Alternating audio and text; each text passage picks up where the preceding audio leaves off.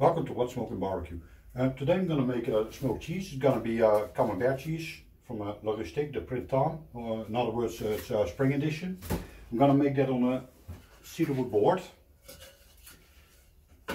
Uh, also I'm going to bake a baguette. Uh, we did not have fresh baguettes uh, in the, uh, the grocery store, so I bought a pre-baked one. I'm going to bake it off in the barbecue.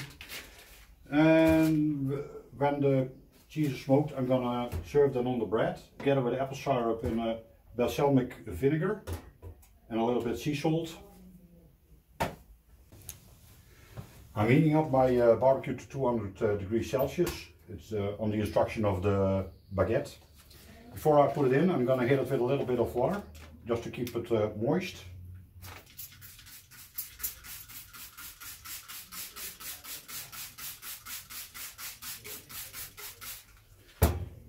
And I put it in a diffuser plate.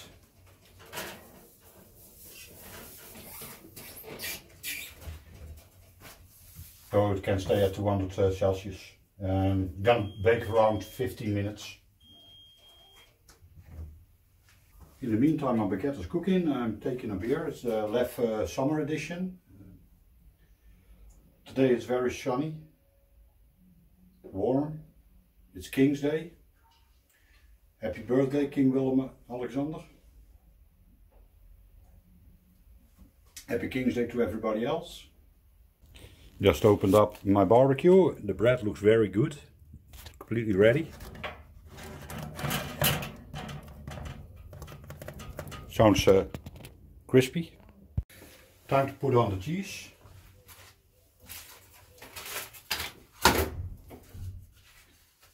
Like I said, on a cedar wooden plank.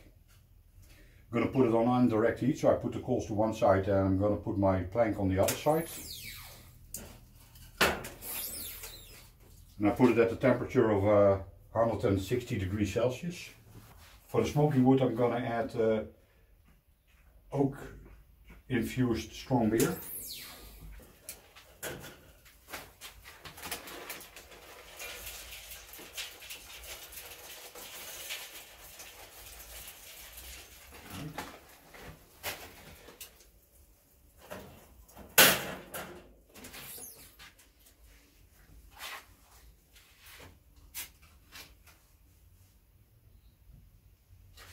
Let's see what that will do.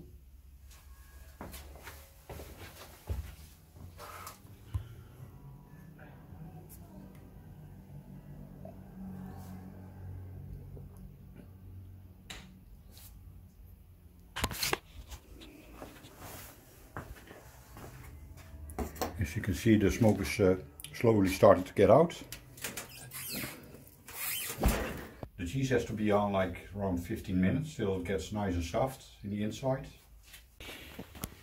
My cheese is uh, smoking. As you can see it's uh, almost ready. Nice yellow brownish and starting to run, so I'll take it out very soon. And at the same time on the barbecue, on the gas one, I'm heating up uh, some uh, apple syrup. Once the syrup is going to be liquid, I'm going to add some uh, balsamic vinegar. Just a little bit.